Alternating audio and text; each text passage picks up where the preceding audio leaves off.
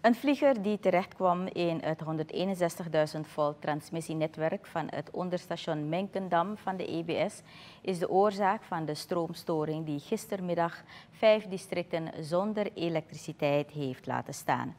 Het onderstation van Menkendam is het hart van de elektriciteitsdistributie.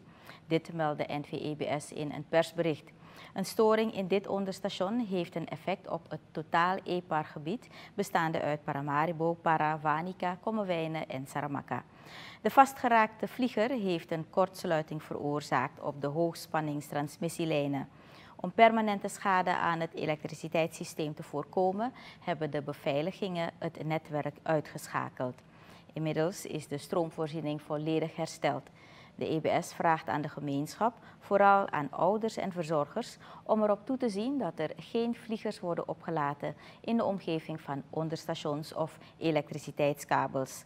Dit is niet alleen gevaarlijk voor de persoon die de vlieger oplaat, maar kan in één keer grote storingen veroorzaken.